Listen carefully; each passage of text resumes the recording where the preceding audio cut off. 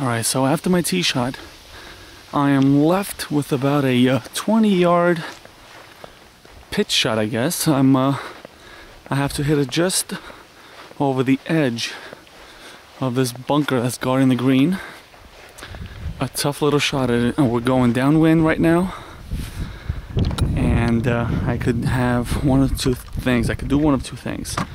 Either be a uh, play smart and uh, not try to uh, be a hero or try to be a hero and uh, and fail most of the time. So what I'm gonna do is play it smart. I'll play it smart.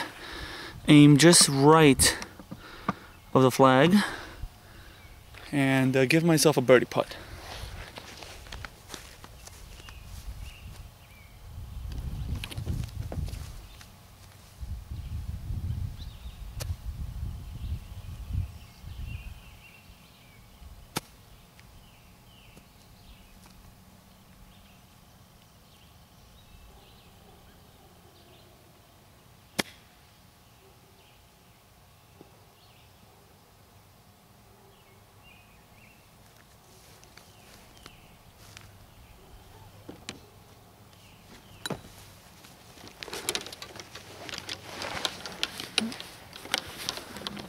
I played it exactly the way I was hoping to uh, to play it, and I left myself with maybe a eight to ten foot putt.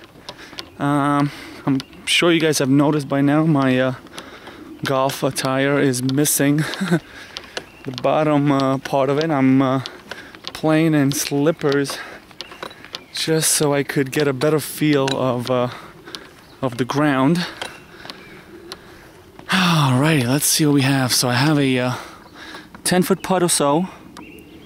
Um, the ball, I'm guessing, will probably break as we're looking at the flag, will probably break to our left. And uh, let's see if I make it, it's a good birdie.